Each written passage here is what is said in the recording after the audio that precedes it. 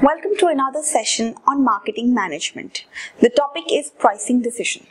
For this session, our objectives would be topic 1 to understand the procedure for pricing policy, topic 2 to connect pricing with the PLC that is the product life cycle, and topic 3 to understand the problems encountered while pricing.